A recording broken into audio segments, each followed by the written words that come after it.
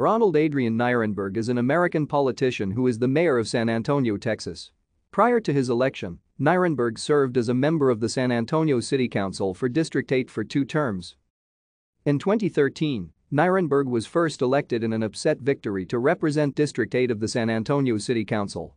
Nirenberg was elected mayor in 2017, defeating incumbent Ivy Taylor, and was sworn in as the mayor of San Antonio on June 21, 2017. He was narrowly re-elected in 2019 facing Greg Brockhouse, a city councilman critical of his policies.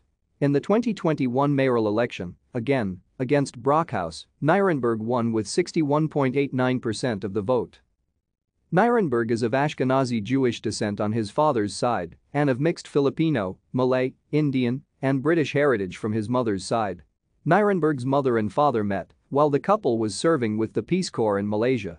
His paternal grandparents immigrated to the United States before World War II, passing through Ellis Island. Thank you for watching.